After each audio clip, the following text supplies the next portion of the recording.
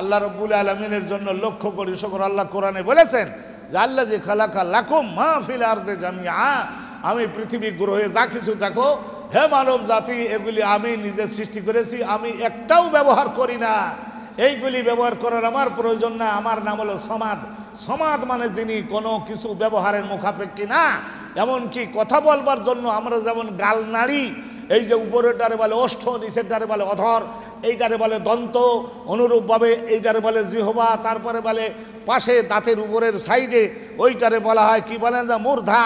মূর্ধা বলে আর কণ্ঠ নাসিকা, এইগুলি, এই যে এইগুলি যন্ত্রপাতি, এইগুলি ব্যবহার করে আমরা মনের কথাটাকে শব্দের সাহায্যে বানাইয়া আরও দশজনের সামনে পৌঁছে দিই। আল্লাহ রাবুল আলমিন যখন কথা বলেন, কাউকে কিছু জানাবার ইচ্ছা করেন, তখন এইরকম গাল নাড়বার কোনো প্রয়োজন আল্লাহর নাই। আল্লাহ পানি খাওয়া লাগে না এই সমস্ত কোনো খাবার খাওয়া লাগে না এইসব বানিয়েছেন কাদের জন্য বানিয়েছেন? মানব জাতি এগুলি ব্যবহার করবে সেই জন্য আল্লাহ বানিয়েছেন।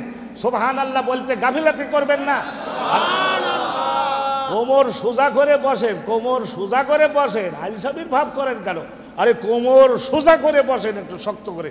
কোমর সোজা করে বসেন এবং ঠিকমতো কান্ডা দিয়ে শোনেন চোখটা দিয়ে তাকাইয়ে থাকেন ব্রেনটা দিয়ে একটু অ্যানালাইসিস করেন কলবের মধ্যে নিয়ে জমা করেন, তারপরে ওই বিশ্বাসটার শক্তি বলে পরবর্তীতে অঙ্গগুলি আর টাকা করি দ্বারা আল্লাহর কাজগুলি করবেন, মরণের আগ পর্যন্ত গোলরিয়া চান্সের বাইরে কিন্তু চান্স নাই ঠিক মতো মনোযোগটা দেন, গাফিলতি করবেন না। সোহান আল্লাহ বলে দেন। আল্লাহ রব্বুল আলমিন বলছেন, মোহাদ্দেস জয়নাল আবদিন সাহেব আসছেন আগুইয়ে বসেন আগুইয়ে বসেন।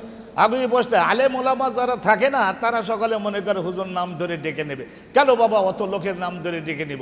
বড় বড় আলেম যারা কাউমি হোক, আলিয়া হোক, পীর হোক, তবলিগ হোক, সবারই কর্তব্য it is their own responsibility যে তারা মেহরাব মেম্বারের কাছে কাছে থাকবে।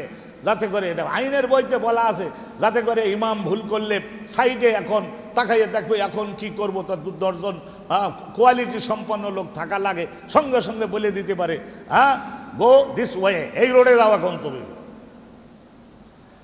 আর পীর মোর্শেদ যারা আসে, আমি দেখি, ওই পেছনে পেছনে। কারণ কি, তাড়াতাড়ি আবার মোনাজাতের পরে যেতে পারবে? সুবিধা আছে।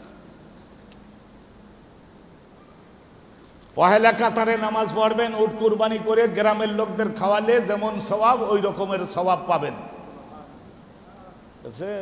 এরা তো কমপক্ষে সোহান আল্লাহ বলা উচিত ছিল।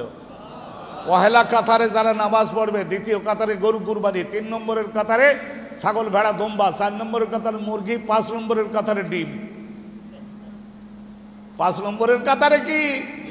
বলে তারপরে হুজুর, তারপরে আর হাদিসে কিছু নাই। এরপরে এখন একটা ডিমের দামও তো বোধ প্রায় কুড়ি টাকা, পঁচিশ টাকা হয়ে গেছে। পনেরো।